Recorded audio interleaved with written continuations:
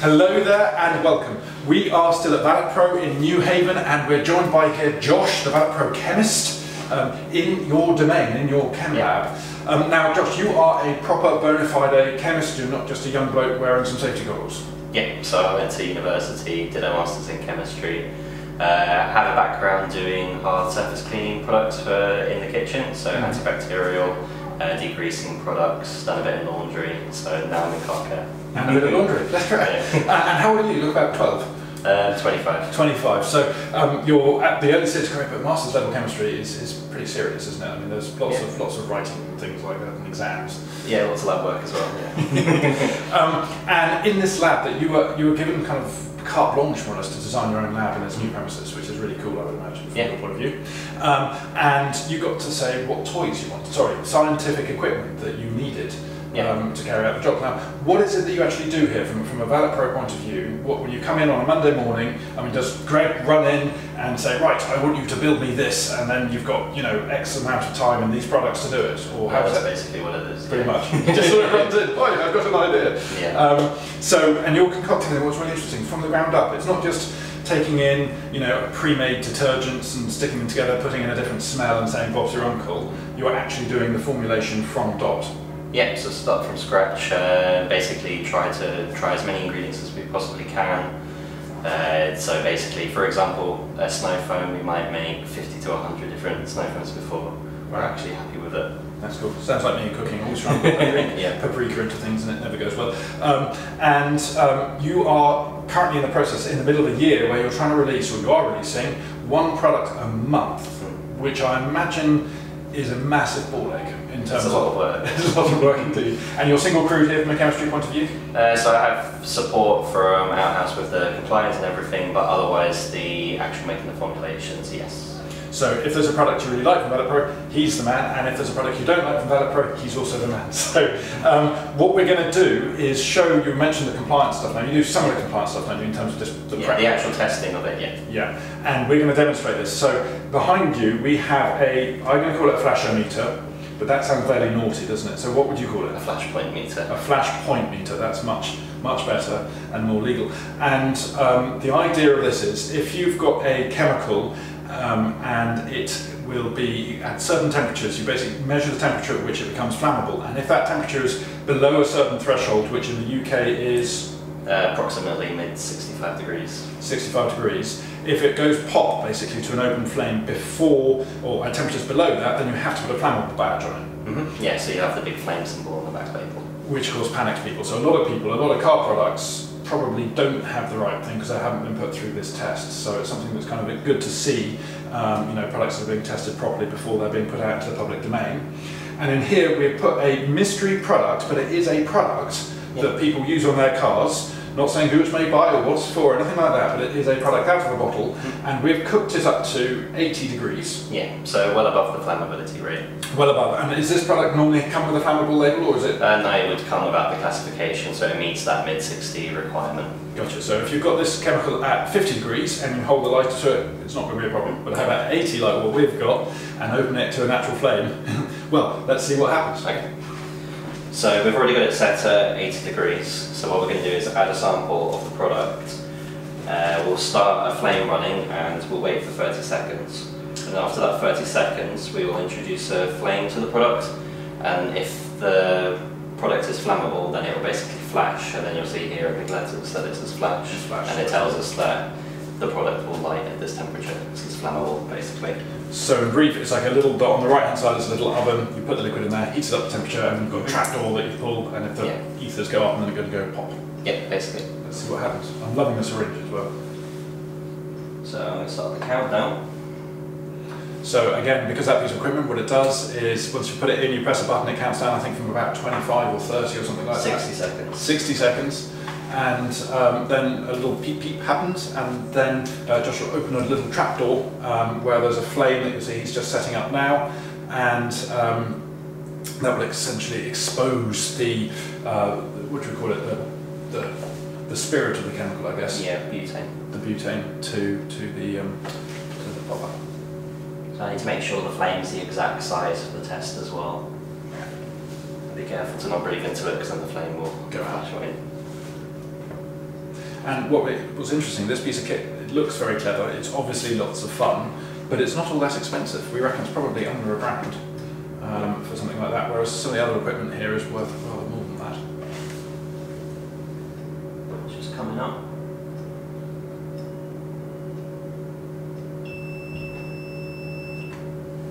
So here it flash? says flash. It Uh, says Did a little flash on the inside so the product actually set a light and Oh, crikey. the crap door, the trap door shuts and then you close the oxygen to the thing and then it Let's stops. put it out so Yeah. just burning down a nice new lab.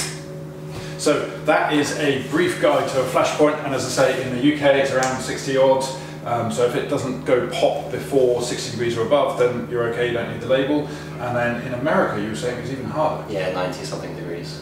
Crikey, so you've got to find a product. If you don't have the flammable thing on, it means that you can cook it up to 90 degrees and, and it still won't go pop. So that's, that's quite difficult, I would imagine. So I imagine more things have flammable batters going to America. Yeah. Gotcha. So, having played around, sorry, tested the flashometer, um, we thought it would be a good idea to talk about the new products that are on the horizon. So, um, by the time you're watching this, these products will have been released, but at the moment they're unreleased. It's very secret information. Josh, tell me what you're saying. There are three coming out. What are those three and what do they do? So we've got a convertible roof cleaner called Drop Top Cleaner, convertible roof protector called Drop Top Protector, and we've got a liquid wax product called Indulgence Green Wax. Indulgence green wax. Is that a polymer wax or is it a? syn- Uh, so it's organic? using purely carnauba wax. Uh, so it's very easy to apply. You basically put it onto the painted surface. You don't need to wait for it to cure or anything. You just apply and then buff off straight away. Yeah. And what's the sort of durability on that? Uh, at least four to six weeks, but depending on conditions, longer. So it's designed to be uh, easy to use, fun, kind of pleasurable to use, Yeah. really good deep gloss, I'm imagining, Mhm, definitely. um, and then uh, at the price of durability. But then, frankly, if you want to do your car every other weekend, that's not a big deal, is it? Um, and how long does Be- Beading Marvellous or Wax last normally? Beading Marvellous will last for three months. So that's a much more um, durable products, but again, it takes more effort to put on than a liquid wax would. Yeah, so it's easy to use, and you do, depending on the conditions, you still can see protection after that same period as well. But the idea is it gives you that level of protection that's worth much more than a quick wax or a quick detailer. But at the same time, it's easier to use than a standard. So it's kind of almost like a show wax, you can probably apply it. You know, once a quick detail to car, you can then apply it over the top to get Yeah, that definitely, yeah. extra bit. Um, and the convertible top cleaner. Um, now, I'm guessing that is for fabric and mohair and all the different Yeah, types all types of fabric. Yeah, And is it just clever detergents? yeah. Yeah. I like it. It's so damn honest. Um, and in terms of the protector, is that a sort of some sort of polysiloxane concoction, or is that a totally different technology you're using? Or you're not allowed to say? I'm not allowed to say. It's annoying. And how long? What's the protection on that? I'm guessing it's going to have some sort of fungicide in to stop them going green on Mm, the in the cleaner, In the yes. cleaner. Oh, in Yeah, cleaner. so you can get rid of it, and then basically it will stop any sort of bacteria growing afterwards. Yeah, it will cover that sort of. And can it be applied? This is a big thing when doing convertible roofs. Is that if you've done a deep clean convertible roof with a lot of protection products, it needs to be bone dry before you can apply it. Now that's fine if you're a detailer with a garage and some heaters and stuff, and you leave it overnight, or a unit like that, you leave it overnight, and you can do it the following morning. But for mobile valeters, for people at home, you might not have that luxury. So does the protector have to be applied to a clean roof? I mean, to a dry roof? Uh, so what we have on the label is we suggest that you lightly spray it with some water to allow it to better spread when you apply it. Uh, so after application, you simply spray it on, but ideally you want to leave it in a dry environment afterwards to cure for essentially overnight. But to get the most out of it, it will still work just as well if you apply it outside. So it actually encourages a soggy surface for you to, to apply it on, and then you need to leave it in the dry to cure, which makes sense, absolutely. And I'm guessing longevity depends on how many times you pull the roof up and down, because Yeah, that's definitely, yeah. what breaks stuff down. Yeah. And I'm guessing you're targeting a sort of Fabsil Gold sort of territory in terms of product longevity as a kind of benchmark product. out Yeah, there. basically. So that'll be an interesting one. I'm looking forward to seeing some testing on that. If I had a convertible, I would do some testing myself, but I don't. Um, and so those are the three products. Now, what I wanted to know is when you're developing a product, when, when Greg bounds in with all the energy on the Monday morning saying, right, I want you to develop one of these, what genre of products do you most enjoy developing? Uh, so I think what I enjoy doing most is the products that are quite easy to use, generally speaking. I thought you speaking. could say easy to do. No. you want some water, great, sorted. Um, okay. So for example, indulgence, like you notice that it's a lot easier to use than a traditional wax. I think they're the kind of products that I enjoy making the most, just because you feel like you're bringing something to the market that basically helps your customers to get the kind of performance. Okay, so yeah. it's a kind of a job satisfaction side. Yeah. And what I mean, what sort of products can you use the fun stuff on in terms of the equipment and the chemicals? Because I've seen what you can't see here is there's a big uh, kind of line of, of bottles with raw ingredients in, and I have had a little peek, and there's some very exciting sounding chemicals. I have no idea what they are, but they're very exciting sounding. I mean, what is the most kind of? Um, I mean, are there any products that are a little bit dangerous to develop, perhaps? Uh, no, I wouldn't say they're any particularly dangerous. So what I try to do when I make products is make stuff that is environmentally conscious.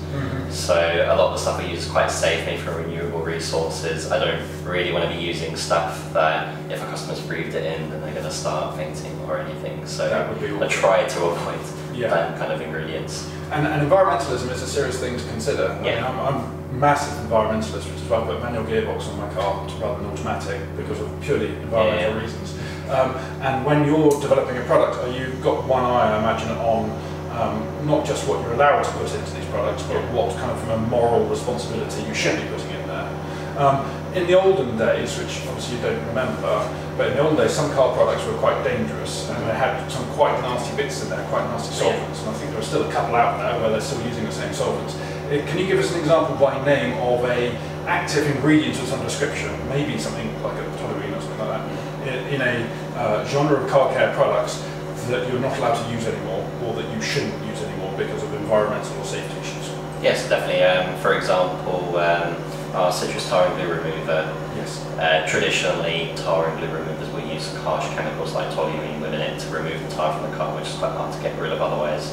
Uh, so we're quite happy with our formulation in that we use a, it's technically not a solvent, but it acts like a solvent and is made from renewable resources. So you get the exact same level of performance as you do from a standard solvent. It's a little bit more expensive for us, but it's much better for the environment. And when, when we say this, because quite often people kind of regard, and I think rightly so, that citrus is kind of a, a level stronger than a detergent, but not as strong as a solvent when it comes to cleaning power. How does citrus work? When people say citrus, is it the same product? Because there's obviously a, con- uh, a connection with citrus acid, citrus acid and stuff like that. Yeah. Um, what is citrus?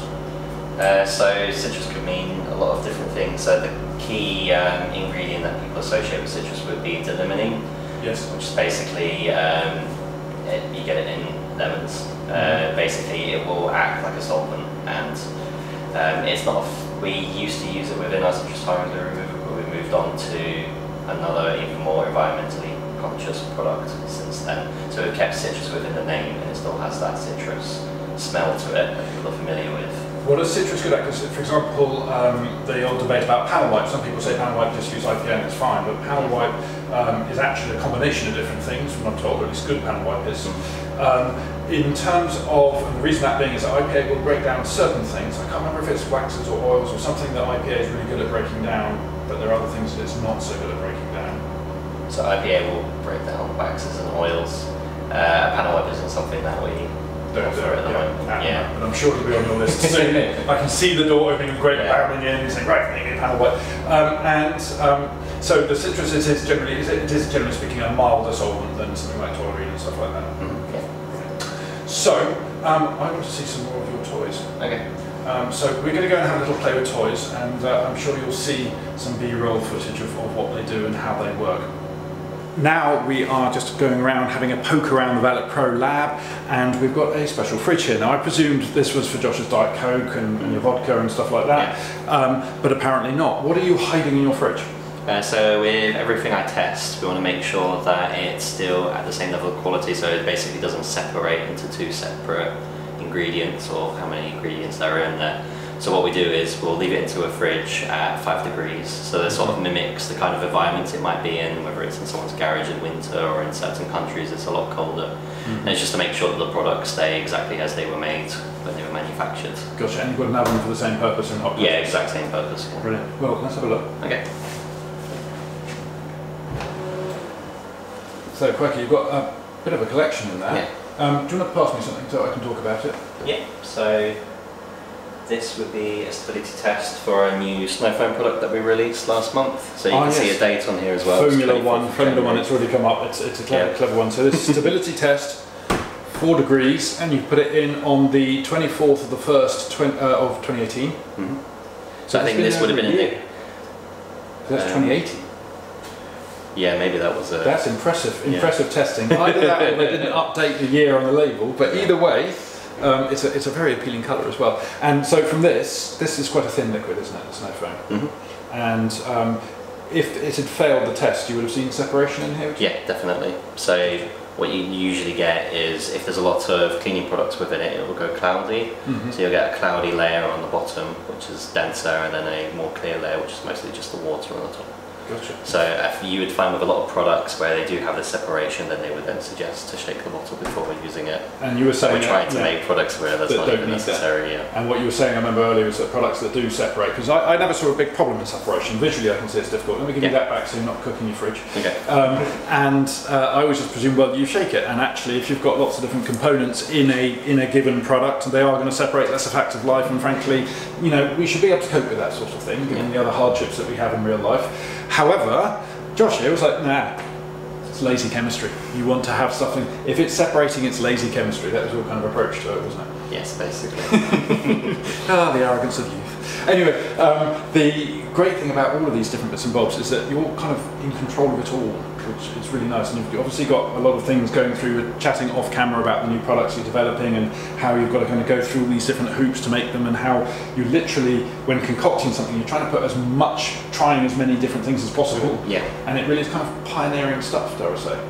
Yeah, so we go from the ground up, so we will have a set of ingredients and then we'll bring in lots from various suppliers, raw materials to test, and then we'll see what combinations work best. Uh, obviously, there's different factors that you have to think about project to project, so Mhm. how you would want the customer to be able to use it, whether it needs to be easy to use in the sun, for example, that sort of stuff. That sort of stuff. I mean, are you a petrol head yourself? Do you test these yourselves, or do you just hand it over to the, the Tame ValetPRO detailer to have a play? Uh, so I do a lot of um, testing with the Pro Valeter as well. So he does most of the testing for us, but obviously I want to see myself if the products are working. Another thing that Josh wanted to show me was about, uh, well, essentially involving these plates. So, Josh, tell me what these plates are about. Uh, so with a lot of the harsh kind of products that you want to make, so for example with a wheel cleaner, there's a lot of brake dust that you want to try and remove, so therefore you have to use harsh chemicals. Uh, what we want to make doubly sure is we're not producing a product that is particularly harmful to the metal or alloys behind the You wheels. get to that situation where I've got good news and bad news for you. Yeah. The good news is the fallout's gone completely. The bad news is you need to refurb your wheels. So yeah, no, it's a, it's a big issue. So you place, uh, uh, I imagine you spot test some of the, the, the Dragon's So Breath. it's completely immersed. So these tests would have been tested with a product like um, Bilberry Cleaner, so a Mhm. highly alkaline product. So what I'm trying to test is making sure that we can make a product that isn't corrosive to metal. So there's certain standards that you can meet. So the level of corrosion, if it's below a certain parameter, then technically it's not corrosive to metal. I see, from the point of view of labelling as well. Uh, yes. Because I hate to break it to you, but I can see where you put the chemical. Yeah. Um, and then you put this in an oven. Uh, so you have to control it at a set temperature, which off the top of my head is 50 to 60 degrees. So the idea is you're supposed to leave it for an entire year before you actually work out what the corrosion rate is. So the rate that the metal actually corrodes from the you plate. I'm guessing you put it in for a couple of weeks and then you can extrapolate. Yeah, so there's a minimum standard that you have to meet. So that is uh, basically about a month that you'd want to do. So that's like the kind of advanced weathering that you get on waxes, where they say, oh, we know, or coats Yeah, or anything, when they said, we know it lasts 10 years, but hang on, you've only started this six months ago, and that's how the by acceleration thing. And is this aluminium or is this steel? This steel. That's aluminium. Oh, it's aluminium. Um, and these two, are there, is there any difference between the two of them, or have we just got two for having two? Uh, no, so they were both tested with a standard uh, highly alkaline cleaner that you can find on the shelf. and what's and what's really interesting is, as, again, talking behind the scenes, is that um, Greg didn't want you to test other products not made by ValetPRO. Um, and a, a lot of manufacturers, I've been to a lot of labs, and a lot of them have tons and tons of bottles of competition. I found one or two bottles here for benchmarking by the looks of it, but the reason they didn't want you to test other things is so that your creative inspiration isn't tainted by what's already on the market. And that's really, really interesting approach. I like that approach because a lot of chem- chemical companies out there will say, oh crap, you know, there's product X and we've got to develop something to compete with it. So they test product X and then work out how they can make their product Y that little bit better. So you're literally blank slating it, which I think is really, really cool. Yeah. And fully legitimate reason for having a proper lab all of your own. Yeah, but we just tried to focus on what we think our customers want. So we want to make a product that yes, it might be less corrosive than a competitor's product, but we want to make it actually hit the standard where it's just not corrosive at all. Gotcha. and, and actually, as, as, as Greg was saying, it's big into the idea of problem solving. I think Yeah, his background basically. as a mobile valeter, I Yeah. guess, is knowing what an issue is and that it needs fixing and to what extent it already can be fixed by current products, but finding an Mhm. alternative way of doing it is always worthwhile, which is why some of the products are, are so different from other products out there. It's good to see. Anyhow, let's go and find some more toys to play with. For our next instalment of playing in the lab, sorry, testing important equipment in your lab, um, we've got a magic magnetic spinny thing. What's this do? Uh, so when you're doing lab uh, testing, so you're only making small amounts of a product, you don't need to use the large mixing equipment. Uh, so what the magnet does is it allows you to stir a product uh, basically without having to use any like heavy mixing materials. So basically, if I press it, Can I have a play? yeah, sure, I what, Sorry, I just I like playing with these things. So which one do I press? uh, the right one. The right one. So this one actually heats it and stirs it at the same time. So that's saying stir at 1300 RPM. It's very quiet, isn't it? Um, and how fast are we allowed to turn it up? I It goes up to 1,500. Is that a good idea? Yeah, it should be fine. Yeah, I've pressed no little whirlpool. And what we've got here, sorry, I'm going to back off. Now I've the button because I'm happy. I'm sorted for the whole of today. Um, what we've got here is obviously two dyes, Mhm. and it's like primary school, and Yeah. we're going to be able to mix the dyes to create a colour. Yeah, basically. And if you mix red and blue, you get green, Purple, I think. purple. I was never very good at this. um, now, what I'm going to turn this down because now it's making a gurgling noise. So let's turn this down to um, something sensible. It's like real life science, isn't it? um, we don't need to heat it up. Should we put it? Oh, you've got pipettes, haven't you? That's terribly sensible. This has absolutely no practical purpose whatsoever apart from just doing it. Now, I was talking to a chappie called Dr. John Hogg, and he was saying how with waxes, dyes, how many drops? As many as you want. Hey. Um, that dyes can actually impact the performance. That's a nice colour. The performance of a product because they actually make an impact on the, on the like how it, how it operates. Is that the same for liquid dyes and liquid products? Uh, so the dyes that we use are food based, Okay. so they're like super safe. So, for So example, inert sort of thing. yeah, Yeah. like you could almost drink it if you wanted to. but I wouldn't. I won't. but Uh, so it's the kind of stuff where the idea is if it gets on absolutely anything that can be easily removed, like it solubilizes instantly in water. Okay. And I'm guessing, given how strong these are, and how, because you might be able to see in the camera, it's completely opaque, um, you only, for a bottle, say if you had a, a one litre bottle of product, Mm-hmm. you probably only got one or two drops of this stuff in it. Yeah, and then this is already diluted down to 5%, so Blimey. Are they really, really expensive, the dyes? Because I know in the waxes, some of the dyes can be very expensive. yeah, they're very expensive. That's. Well, anyway, we have turned some clear water, a really attractive blue colour, and then I've managed to make it a slightly unattractive purple colour. So I'm, I'm set for life now. I'm good. I've achieved it. I'm, I'm, I'm retiring. Great. Um, and these are uh, these are they expensive pieces of, of toys of kit? Uh, not particularly, so a mixing equipment, for example, one of these will set you back £80 approximately, I think. Heck, even with a built-in heater. Yeah. Cool. Cool. Okie dokie. So we've done that one. Um, what's this one next to it? Uh, so that one is a viscometer, so it basically measures the flow of a product, so basically how thick it is. Uh, so that's important in all sorts of products that we're testing and developing. And in a Blue Peter manner, we have a little box of tricks here already. Um, and what I'm going to do is I'm going to put these little box of tricks here because I know that that camera's looking at that already, it's multitasking. Um, and uh, these are, you were saying, for different. Levels of thickness, viscosity, yes. Brilliant. And um, could we demonstrate how any of this works? Can I take up more of your time? Uh, we could demonstrate it, it'll take a little bit to set A little up. bit of setup. Okay, well, I'll tell you what, we will do some cut footage of this running just to show people how Okay. it works. But basically, I'm guessing it sort of spins around and then gives a Yeah, resistance basically. reading. Yeah. That's cool. That's cool.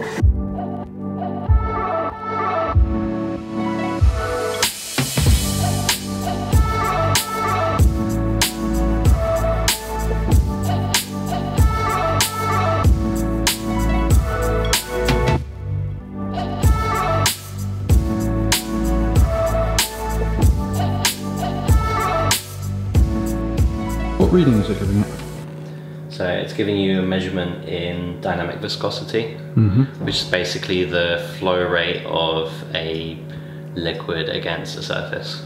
Cool. And and that unit's 10120? Uh, so that would be sort of the typical value in centre pois for a product that's quite thick like this. So this is an example of a level soap, leather soap product. Well, Josh, thank you so much for uh, spending so much time with me and all my stupid questions. Um, and we will continue on. I believe we're going into the warehouse next. Okay, great. So we'll see how it goes.